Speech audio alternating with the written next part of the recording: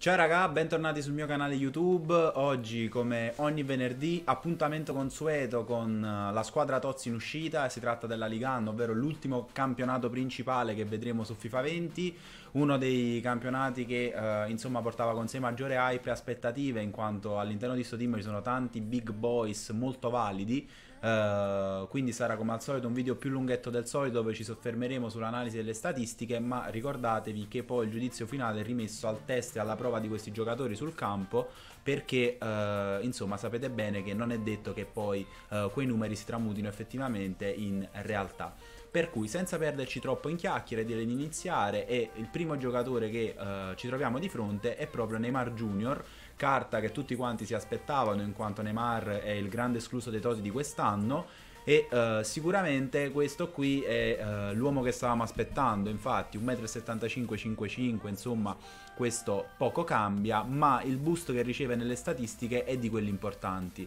Accelerazione e velocità ovviamente impeccabili. La differenza significativa con le precedenti versioni è il boost in potenza tiro che raggiunge 90 finalizzazione 98 ovviamente è tanta tanta roba passaggi corti e lunghi eccezionali, agilità 99, equilibrio 87 e reattività 95 lo rendono super agile e lo rendono anche divertentissimo da usare per tutti coloro che appunto eh, magari skillano e quindi possono sfruttarlo anche in questo, in questo senso. Ovviamente controllo palla, dribbling e freddezza sono altri tre parametri sicuramente al top, resistenza 93 tutto quanto insomma on point per il buon Neymar che entra di prepotenza nel meta come una delle carte migliori del gioco a questo punto e sicuramente uh, insomma andrà a costare veramente tanto quindi non sarà ovviamente disponibile a tutti quanti magari piccarlo sarebbe epico però Uh, soprattutto nelle squadre di pro player eccetera eccetera troverà posto in pianta stabile secondo me. Prossima carta che troviamo è Kylian Mbappé carta molto simile al Toti in quanto non riceve il boost in piede debole come avvenuto per quanto riguarda Mbappé Torta. 1,78 m alto basso dunque 5,4 carta che è molto molto molto simile a quella Toti quindi vi dicevo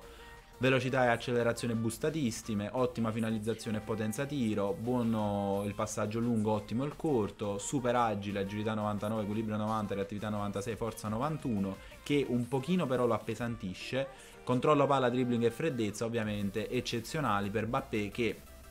in questa versione qui io preferisco andare a piazzare sull'esterno ma non disdegno anche da punta, cosa che probabilmente andrò a fare se il buon Beyedder decide di scendere dai 6 milioni, andrò a comprare sia lui che Beyedder e li testerò. Quindi diciamo che il ruolo consigliato è esterno, ma ovviamente anche la punta la fa ultra bene. Uh, magari la differenza di prezzo col Toti, se ci sarà, sarà giusto giustificata dal fatto che il Toti è una carta un po' più rara, però vi ripeto, per il resto siamo lì.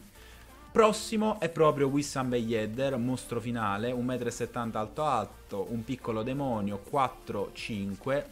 Boost statistico anche per lui importante, accelerazione 99, velocità 93, finalizzazione 99, potenza tiro 95, ottimo il passaggio corto un po' meno e lungo, agilità 99, equilibrio 99, reattività 95, controllo palla 96 e dribbling 98 lo rendono un piccolo mostriciattolo agile che sguscia a destra e sinistra nelle difese avversarie, che si gira bene con la finta di tiro, che si gira bene con un dragback, con un doppio passo, insomma, potete sfruttarlo in mille maniere diverse. Ovviamente, ruolo consigliato per lui l'attaccante in un attacco a due. E uh, purtroppo attualmente ho visto che però ha un prezzo un po' fuori mercato, credo che se tutto va bene sia andato a sestare sui 3 milioni, insomma prezzo più che onesto, insomma non è che stiamo parlando di Ronaldo il fenomeno, mi sembra un po' eccessivo l'hype che c'è al momento intorno al Bombay però super promosso, super approvato anche lui nella tier god di questo, di questo TOTS di uh, Ligan.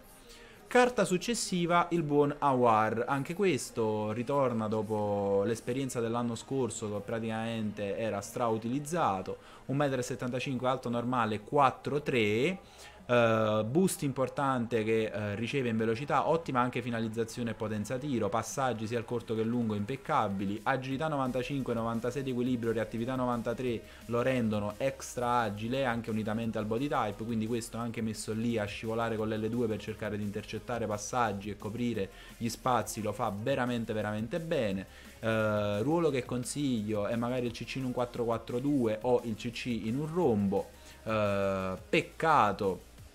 sottolineo peccato, il 3 di piede debole che magari gli può costare qualche errorino in fase di impostazione, in fase di finalizzazione, però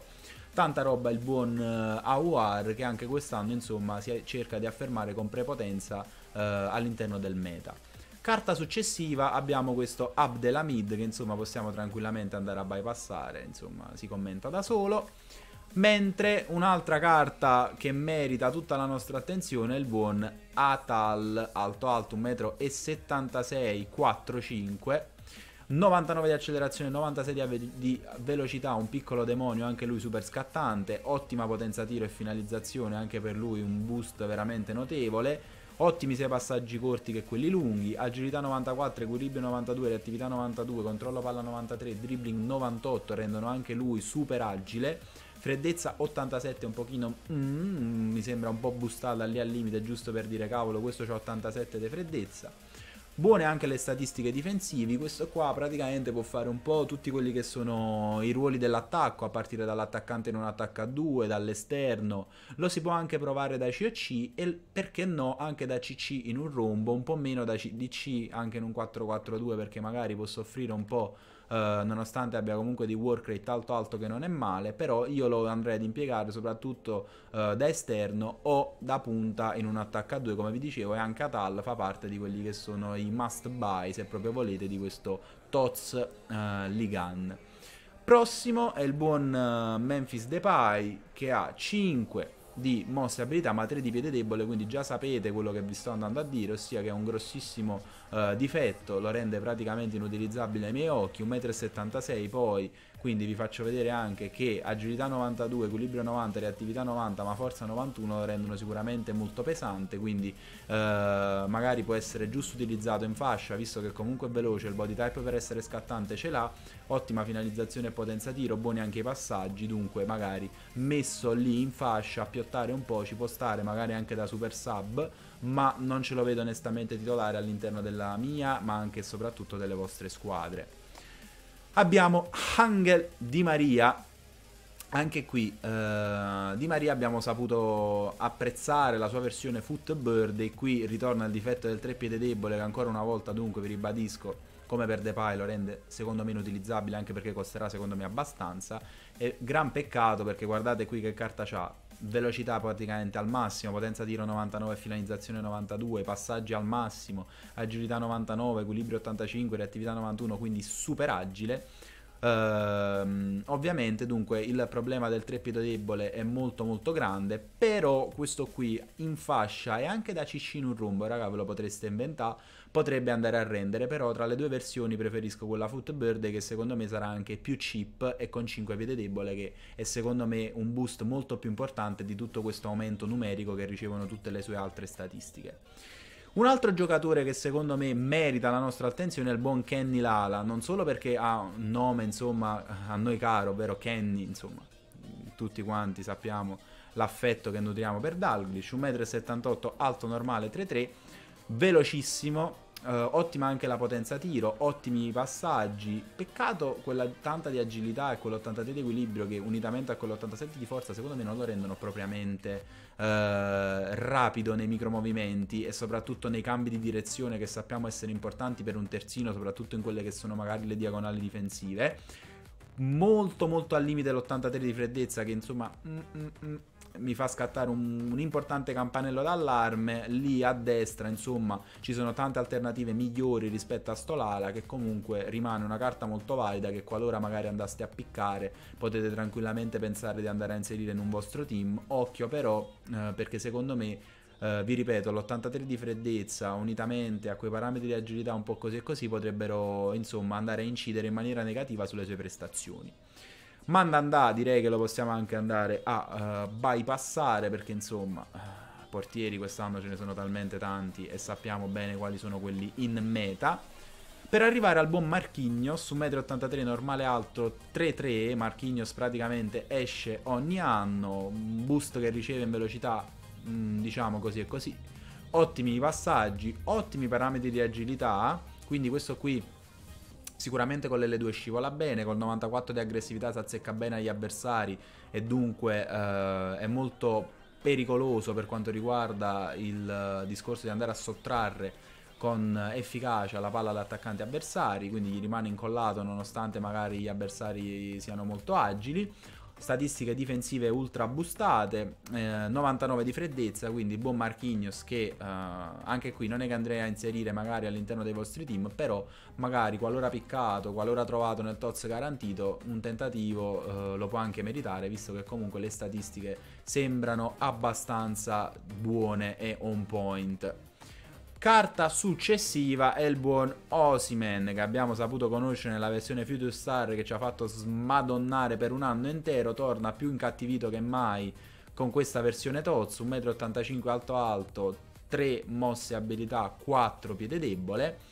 velocità super pompata, finalizzazione e potenza tiro, tanta tanta roba, agilità 98, equilibrio 90, reattività 90, unitamente al 1,85 m al 94 di forza, secondo me lo rendono abbastanza pesantino. Ruolo consigliato per sto Osimen, secondo me esterno a piottare in fascia perché eh, insomma in zona eh, pericolosa a 3 di mosse abilità e 4 di piede debole, quindi manco a dire col 5 di piede debole basta che io mi giro Uh, destra e sinistra, cosa che comunque non è che fa bene perché vi ripeto, secondo me non è che abbia questa grande agilità. Uh, quindi ruolo consigliato per il Bonosimen in fascia, esterno destro, sinistro, CDC OS, in maniera tale da cercare di andare a sfruttare la sua rapidità, nonostante abbia comunque un grosso difetto anche quello del passaggio lungo. Però uh, sicuramente il Bonosimen potrebbe anche valere la pena di essere utilizzato, ma senza andarci a svenare, senza fare follie per lui. Carta successiva è Verratti, normale alto 4'4, 1,65 m, riceve un boost in velocità nonostante comunque la velocità scatto rimanga un po' così e così buona l'accelerazione. Statistiche di tiro diciamo abbastanza rivedibili, ottimi e impeccabili passaggi, agilità 98, equilibrio 99, reattività 91, forza 63, unito al 1,65 m lo rendono molto agile freddezza 99, ottime le statistiche di uh, difesa. Diciamo che è una sorta di canteva della Ligan che uh, magari da CC può anche valere la pena di andare a, a, provare, visto che comunque ha anche 99 di aggressività, ma insomma non è che vi vedo e mi vedo andare a comprare sto Verratti per utilizzarlo titolare, a meno che non avete una rin italiana, insomma, e volete qualcuno che possa darvi degli sbocchi in più a centrocampo in termini di ibridabilità. Carta successiva è Payet, che se ho compreso bene dovrebbe essere una SBC 4-4 alto basso 1,75 m questo qui c'è una bella carta, indubbiamente, veloce veloce, ottima potenza tiro e finalizzazione, ottimi passaggi, agilità 88, equilibrio 91, reattività 83, forza 94, unitamente al 1,75 m, secondo me non lo rendono propriamente agilissimo.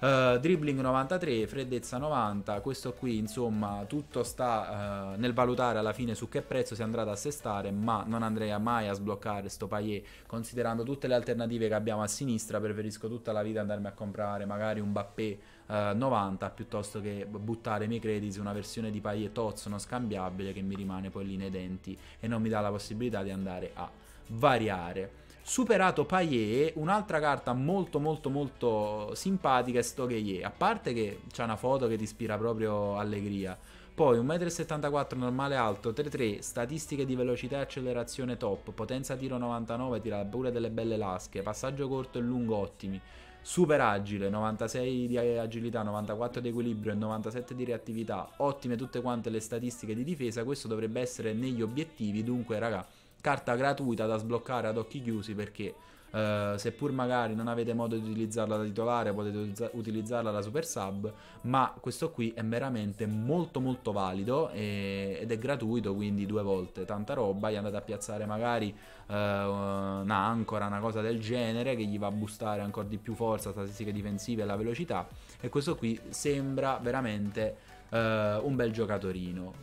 Tiago Silva insomma è il classico come ormai vi ho abituato Piquet della, della Ligan, quindi statistiche di velocità un po' ambigue, non è agile, quindi risente di quelli che sono i cambi di direzione degli attaccanti agili, quindi sapete che sarà un bel problema. Statistiche difensive top, aggressività neanche così eccezionale, forza tanta roba. Insomma, Tiago Silva piuttosto che lui andrei a scegliere